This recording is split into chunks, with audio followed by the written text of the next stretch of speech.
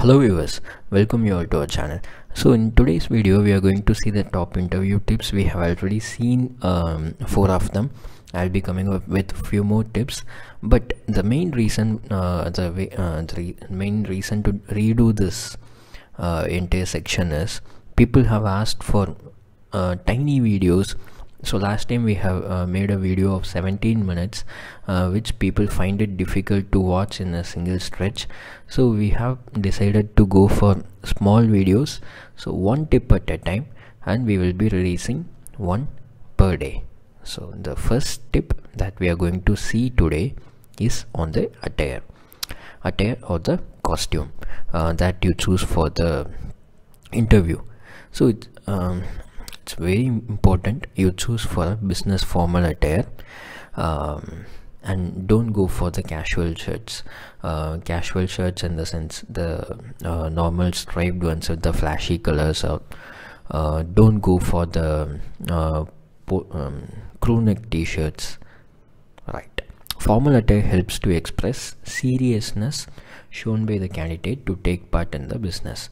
So it's more like for example uh, when you um, properly iron a shirt and then uh, when you attend an interview uh, you look far better than a person who comes in a uh, it's it's purely based on the look okay? It's not about the knowledge but that shows that you are adding a little more effort to present yourself in the, in your interview than, uh, than a person who comes in a shabby look.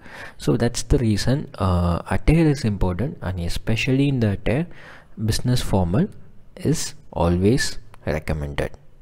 So what is a business formal? Men can prefer solid design a solid uh, uh, or in india we used to call them as plain shirts as well. See we call them as plain shirts. Um, solid design or mild pattern very mild pattern okay? Don't go for uh, any um, dashing pattern or colors. Avoid large patterns and flashy shirts.